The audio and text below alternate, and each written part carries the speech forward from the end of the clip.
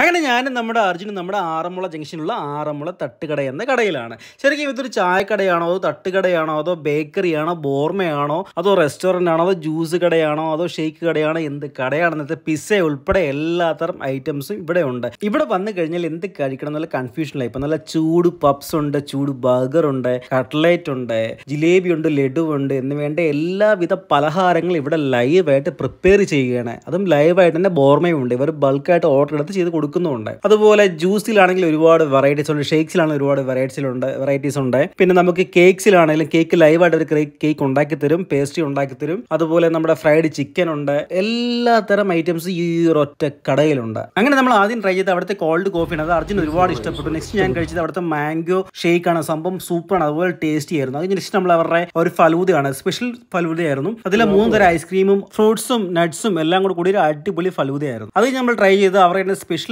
Item ആയിട്ടുള്ള ഒരു variety ചായ അതായത് മൂന്ന് ലെയറുള്ള ചായ. അവർക്ക് അതുപോലെ അഞ്ച് ലെയറുള്ള ചായ ഉണ്ട് അങ്ങനെ ഞാൻ കുടിച്ചത് മൂന്ന് ലെയറുള്ള ചായയാണ്. ഞാൻ ഇതൊരു ഗുണ ചായ എന്നാണ് ഞാൻ വിളിച്ചത്. സംഭവം സൂപ്പർ ആയിരുന്നു ടേസ്റ്റ് ഓരോ ലെയർ വൈസ് ലെയർ വൈസ് നമുക്ക് കിട്ടുന്നത്. നെക്സ്റ്റ് നമുക്ക് ട്രൈ ചെയ്ത് അവരുടെ തന്നെ ഒരു മൊജിറ്റോസ് ആണ്. അതും നമ്മുടെ അർജുൻ ഒരുപാട് ഇഷ്ടപ്പെട്ടു. പിന്നെ ചിക്കൻ നഗറ്റ്സ് കഴിച്ചതും പൊളിയായിരുന്നു. നെക്സ്റ്റ് നമ്മുടെ അവരുടെ വെറൈറ്റി വേറൊരു ഫലൂതയാണ് അതും ഹെവി സംഭവം തന്നെയായിരുന്നു. പിന്നെ ലാസ്റ്റ് ട്രൈ ചെയ്ത് അവരുടെ ഒരു ഹണി ലെമൺ ടീ ആണ്. അപ്പോൾ നിങ്ങളും ഷോപ്പ് വിസിറ്റ് ചെയ്യാൻ നിങ്ങളുടെ എക്സ്പീരിയൻസ് നമ്മളുടെ കമന്റ് ബോക്സിൽ രേഖപ്പെടുത്തുക. അതുപോലെ നിങ്ങൾക്കറിയാവുന്ന ഷോപ്പുകളെ കുറിച്ച് നമ്മുടെ കമന്റ് ബോക്സിൽ ഒന്ന് രേഖപ്പെടുത്തണേ.